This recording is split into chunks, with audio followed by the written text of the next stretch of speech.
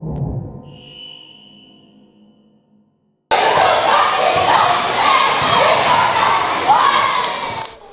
been working on my handles, but I still I still try to play my role. Um, I've been working on my mid range.